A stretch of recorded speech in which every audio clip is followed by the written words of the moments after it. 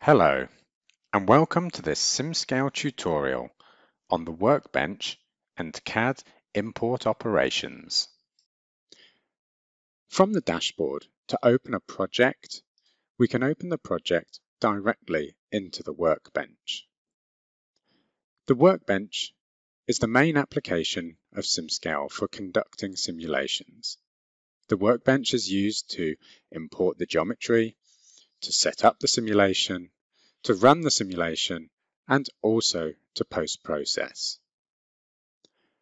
Okay, so on the right-hand side of the pane is the main window for interacting with the model. There's a couple of tips here for how to use the mouse. A click and drag will orbit the model. Holding down the right mouse button and moving the cursor up and down will zoom in and out, as will using the scroll wheel. If you would like to orbit around a specific part, click that part and then drag around it to orbit around a specific part. If you would like to pan the model, hold Control and then use the left mouse button to drag the model across the view window. The rendering of the model can be changed by changing the view mode in the top of the screen. So we can view with perspective. And we can also change whether we're viewing surfaces or just a wireframe of the model. And there's various selection tools for selecting bodies or faces. And there's a box selection tool. A useful shortcut for this is to press the B button and then drag the mouse cursor to do a box selection. The right-click context is also very useful for selecting different things that you want to do with the selection.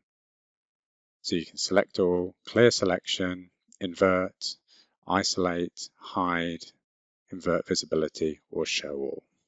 For example, we could hide a component and then go back to showing all.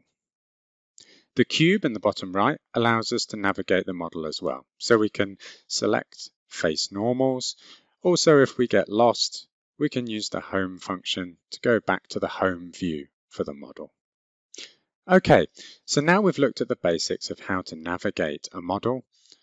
Let's look at how to import a new geometry. If you go to the left-hand pane in the tree, we can see this geometry that we've got here.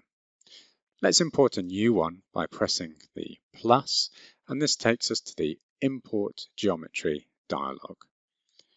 There's a direct connection with Onshape, or we can drag and drop virtually any other CAD format into this interface. So I'm importing a Parasolid now. Assemblies can be imported by having all of the assembled components in a zip file.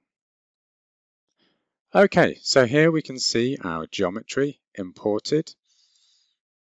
And we've already got this geometry set up ready for a symmetrical analysis. There's various CAD operations that we can now perform on this geometry. And as this is a flow simulation, we're going to want to extract the fluid volume. So by clicking on the extra icon on the right, we can choose some of the CAD operations. So we could do a open inner region flow volume extraction in this example. This opens the dialog box for us to select the various faces. First of all, we select the boundary faces that bound the fluid flow, and then we need to select one seed face.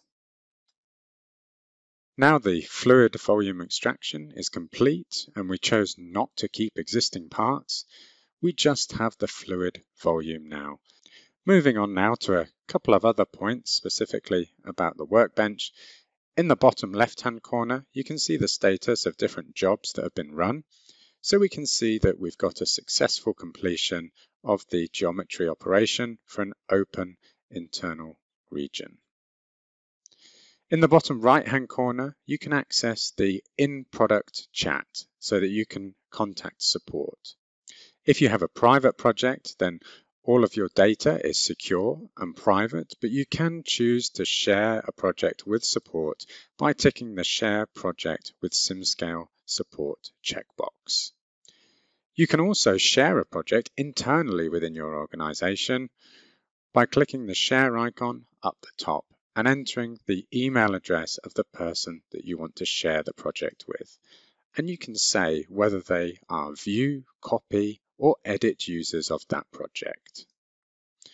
Also up here, you can copy a project and edit a project settings as well. Okay, that's all for this section. Thank you for your attention.